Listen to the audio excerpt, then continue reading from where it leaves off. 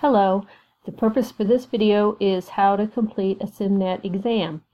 So as you know at this point, these tiles represent assignments and exam assignments are in red.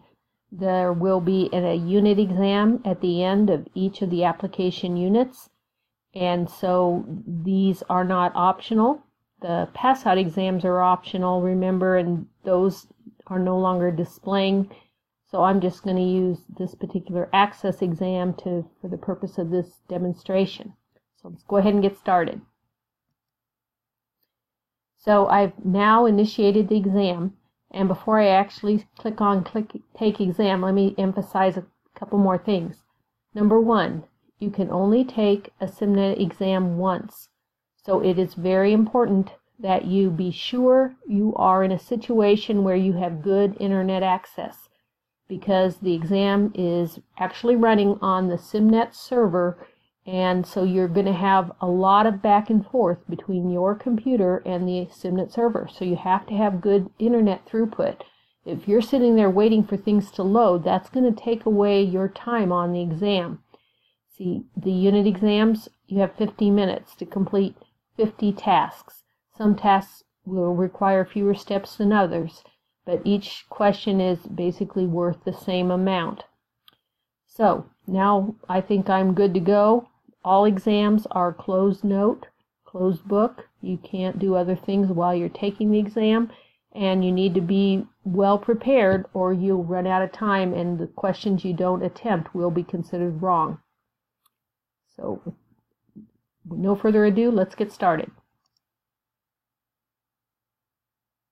So it's going to take a little bit. This time you're not time's not running until it loads. So start the exam. Now that the clock is running. So you'll see the clock running right up here. My display is slightly cutting it off, but it's 49 minutes and some seconds are ticking away there. And you can change the font size here if you want to make this a little bigger. See what's happening in my question area. That's what's changing the font size and making it a little larger. That's just a personal question, or preference, I mean. And this tells you you have one of 50 questions. You can jump around from question to question. So you do that by clicking there. I'll, I'll stay with the first question, but I'm just showing you how this works.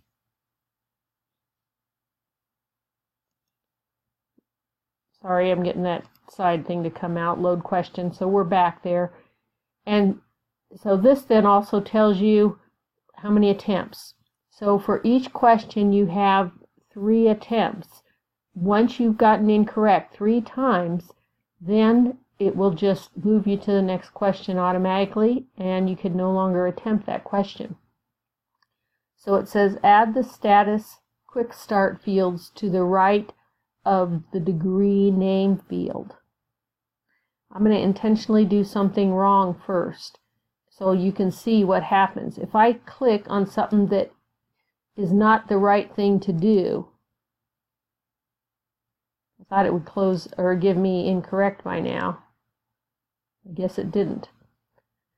I'm intentionally trying to have it do something wrong. Finally, I guess usually if you click in the wrong direction, it's going to say incorrect. You say OK, and then notice what happens here. One of my attempts was used up.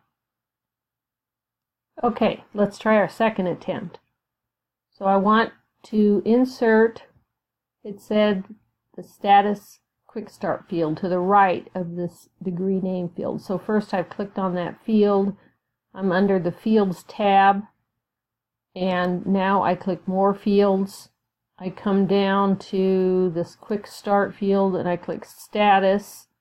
And it says I've answered that correctly. So you see it now moved me to the second question. And I have one of three attempts still available. Modify the width of the course description column to best fit for the data. So Course description, that needs to be selected, again under this Fields tab. and I'm looking for the best fit. So I don't see a shortcut on the ribbon. I'm going to right click here to field width and then select best fit. And that's the correct answer here. So you get the idea. I'll just review and remind you that right now it automatically moved me to question three.